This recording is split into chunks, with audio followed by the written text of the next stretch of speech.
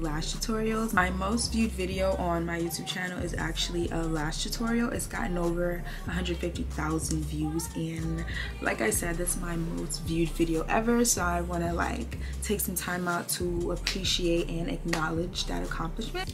I thought being that that was over a year ago, maybe I should film a new one, an updated one because that was like my first or second time ever doing my own lashes and I made a lot of mistakes and I've learned a lot from those experiences being that I've made like three videos by now. I really just did a deep dive on what I wanted. Of course, I wanted a cat eye. Last night I really finally found the lash category of the lash that I was actually looking for. I don't know if this makes sense, but you know how there's like volume, hybrid, wispy. So I just found the one that I think is perfect for me. And it was a hybrid cat eye with short lengths. And that's what I've been trying to achieve. I still have not achieved that. I mean, I kind of did achieve it, but this is giving wispy for sure. But anyway, I'm getting off topic that was my goal. So all of my tutorials have been to achieve said cat eye lash set,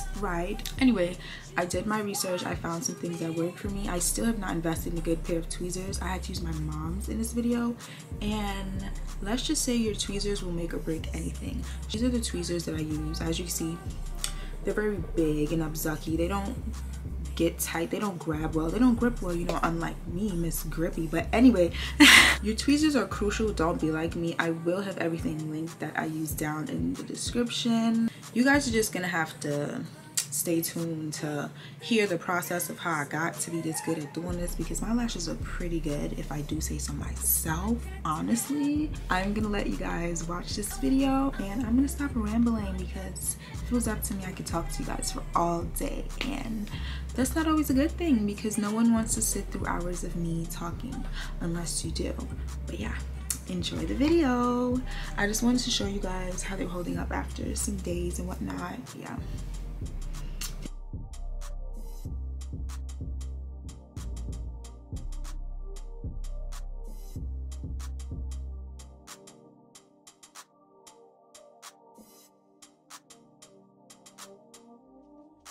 Today I'll be working with VEYES Self Fanning Lashes and of course my IEnvy by Kiss Mega Hold Individual Eyelash Glue in black.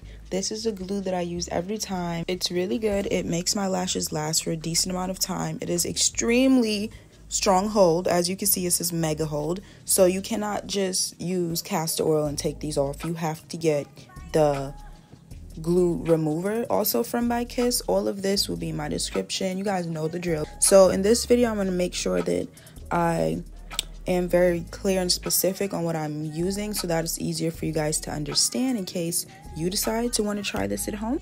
All right so we're up close and personal. I tried to zoom in as much as i could without looking insane to really show you guys what i'm doing. Um if you're familiar with my other lash tutorials then you know the drill.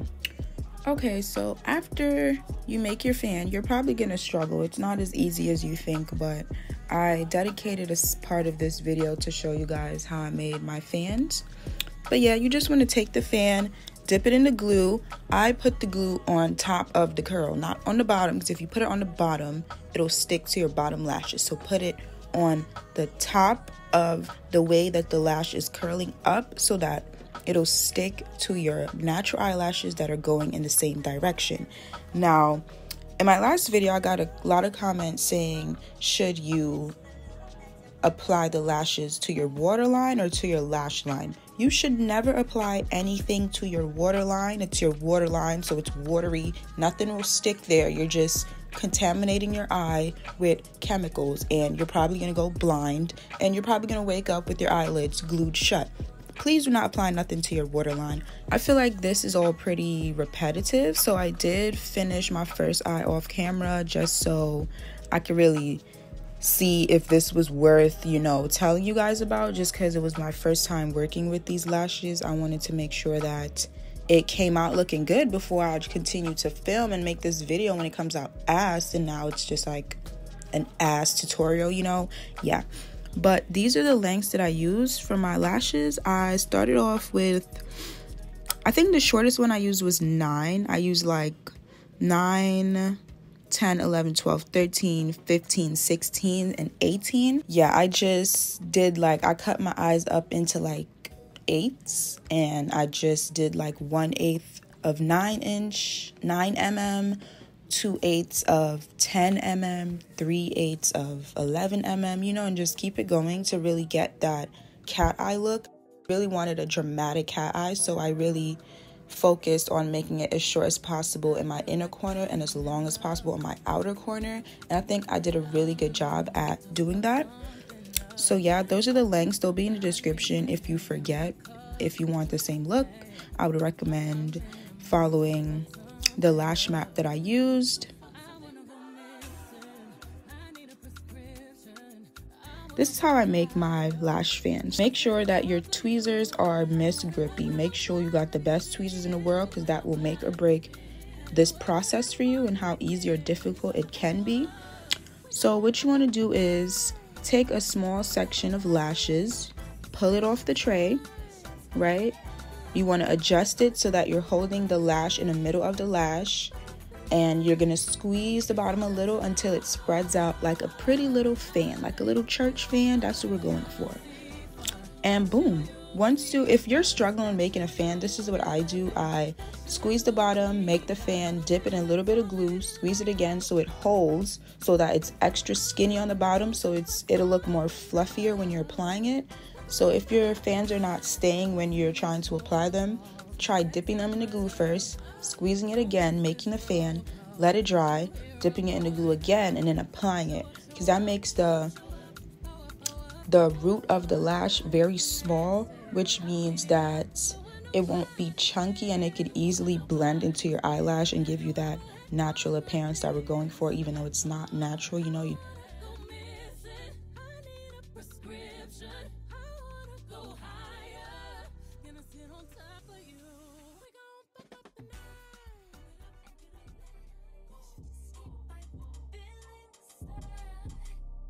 So this is how far we've came. Let me make this a little slower so that you guys can really see. This is a really short video, but like it really is self-explanatory. It's not self-explanatory, it's just really repetitive.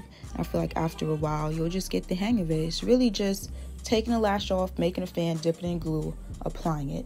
The lengths, that handle itself. Like if you apply it correctly and use the right lengths, to me, it'll always look good but you want to make sure your fans are fanning. Don't make them like you want to make sure they're fanning. You want to make sure they're spread out. They want to you want your lashes to look like wispy butterfly wings, not like well, this one I'm going for. If you want a more like spiky volume set, maybe don't make your fans as wispy as mine, but I love a wispy fan, so I made them extra wispy.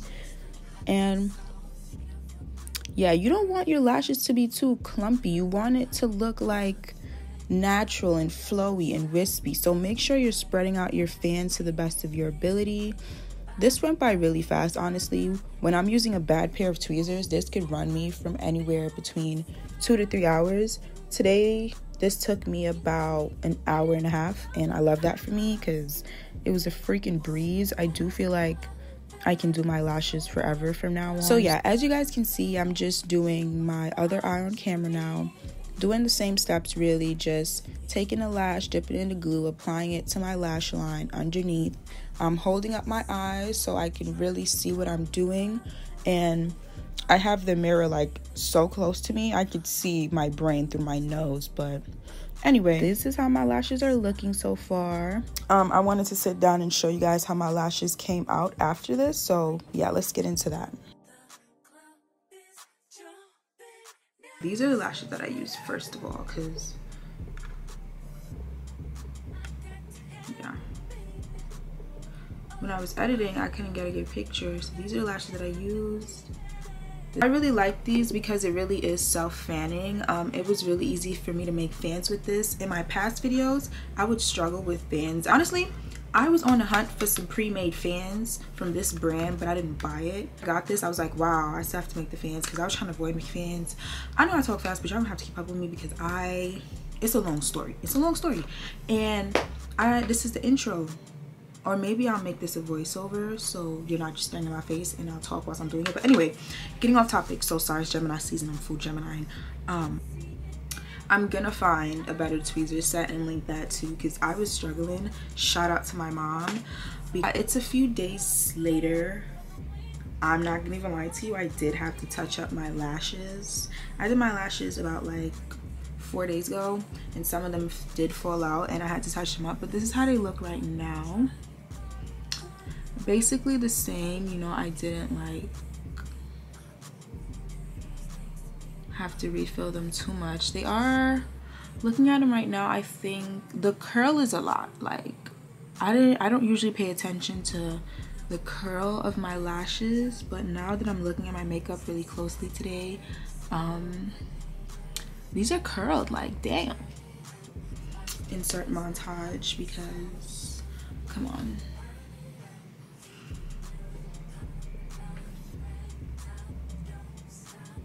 Period. Bye.